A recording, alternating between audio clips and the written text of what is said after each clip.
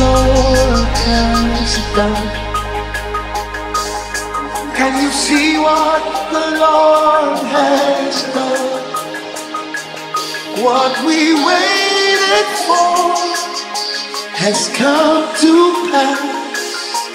See what the Lord has done. When you're waiting, you're gonna see that.